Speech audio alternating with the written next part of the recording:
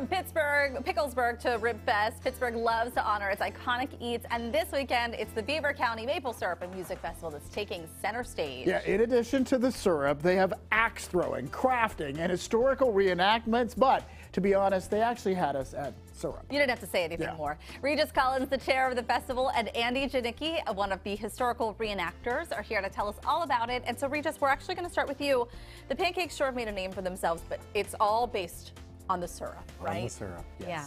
So we procure the syrup. It's Pennsylvania real maple syrup, 100%. Uh, we process it on site at the maple camp. Uh, there's tours available, and the entire weekend. Uh, parking is free. The shuttles bring people from the parking, drop them right at the site, and they're able to tour. We have nearly 100 vendors this year. Wow. And musical performances, uh, both Saturday and Sunday, begin at 8:30 and run until 4:30. All right, you're teasing us right now because you're holding the syrup there. I am. But Yeah. you've yet to pour anything for us to try. So talk to us about what this syrup is. This is This is grade A grade A.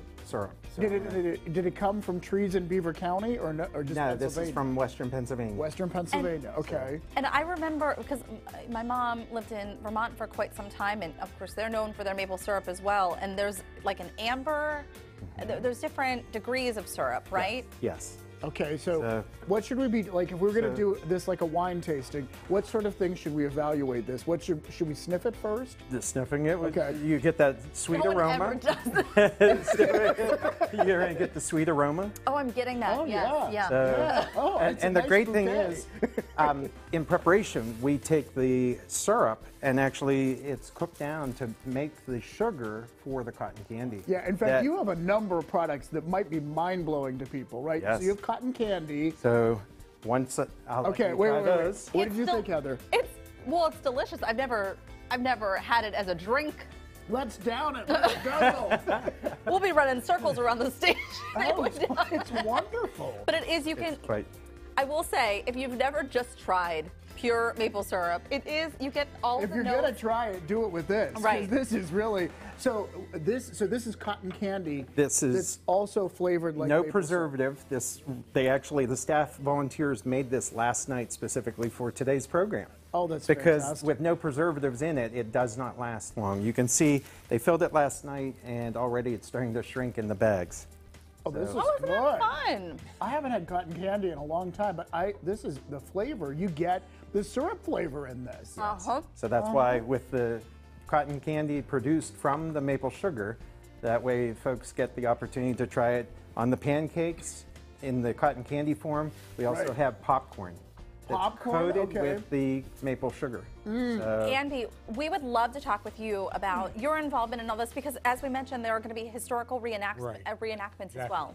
Yeah, well, we're part of the Fort McIntosh garrison. We're Revolutionary War soldiers. There was a, you know, a fort built there to protect the western frontier during the Revolutionary War. So we have a group of people, probably 10 of us there, and uh, we do the parades, we do other reenactments and things like that. But the fort was there from 1778 to about 10 years in service. Uh, the most they had there was like 1,500 soldiers.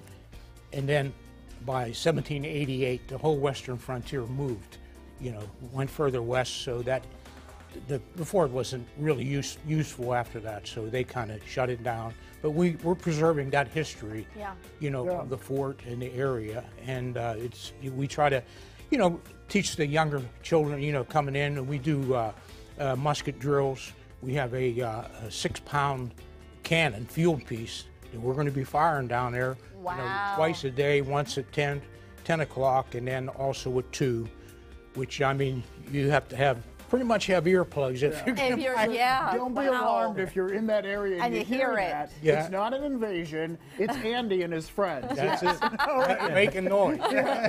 And we actually announced prior to the Yeah, 10 and 2 That so it's that the general public knows so that people with PTSD or Yeah, anyone that's on the important, spectrum of yeah. autism for Yeah. noise sensitivity. That they know. We Yeah. uh, stop our pony rides and the petting zoo also. So Just that shut it down so everybody can- That way, for yeah. safety Makes reasons, sense. we ensure. Well, what a great, great. thing to embrace and base a festival on. I know. Like really, great idea. Truly, one And of the this- four food groups. So. Well, and it's free. We should mention. The yes, we love that. 44th an- uh, edition of the Beaver County Maple Syrup and Music Festival takes place Saturday and Sunday this coming weekend at Brady's Run Park on Route 51. Yeah, and one of the best parts, as Heather mentioned, it is free. And for the full schedule of events, just go to our website, pittsburghtodaylive.com, and try some of the cotton candy. yeah, you gotta try it. Surprisingly good. Okay,